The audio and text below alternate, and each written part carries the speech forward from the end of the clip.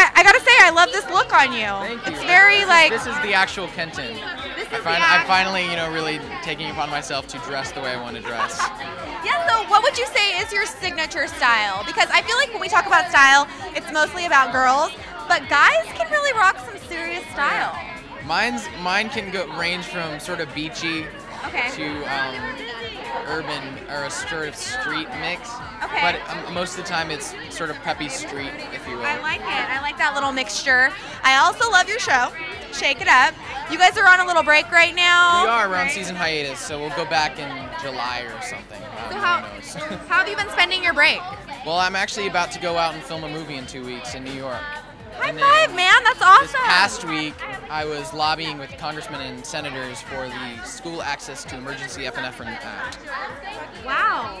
That's pretty impressive. Yeah, hung out with a lot of uh, Californias and Texas and all, all Right. everybody there. That's so, so cool. So tell me about this movie project you're working on. It's um, actually it has to do with bullying, and I'd be the bully, um, of course.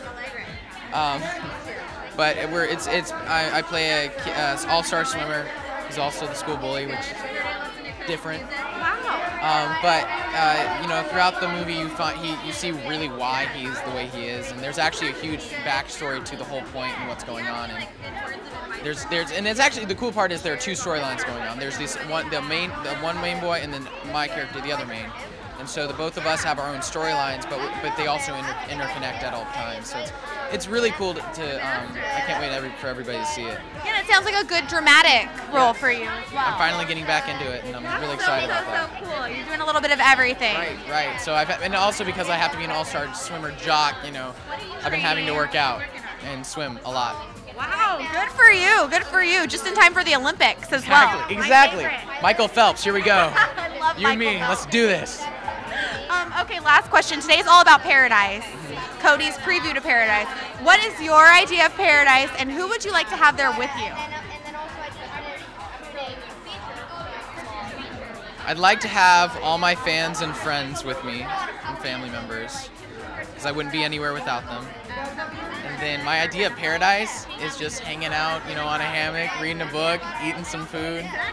Sounds pretty nice. Doesn't it? You know, it's set like 72 degrees. Like one mile per hour wind, just every like five minutes. oh my gosh, I'm already there in my mind. I'm there too. We'll go. We'll go. Okay, I'm in. It was good